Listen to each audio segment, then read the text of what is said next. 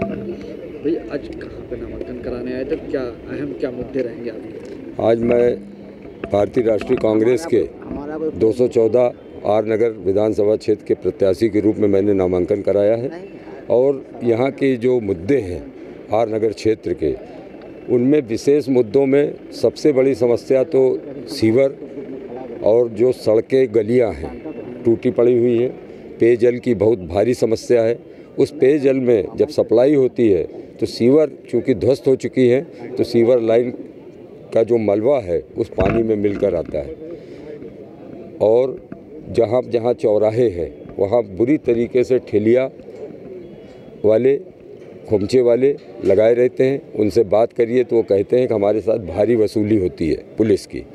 मैंने ये प्रण किया है कि अगर इस क्षेत्र की जनता मुझे विधानसभा का मेंबर बनाएगी तो ये जितने ठेलिया और रेहड़ी वाले हैं, इन लोगों को कहीं ना कहीं निश्चित रूप पे उनका क्योस बनाया जाएगा, जिससे उनकी पुलिस की अवैध वसूली रुकेगी और क्षेत्र की जनता को भी जाम से फुर्सत मिलेगी।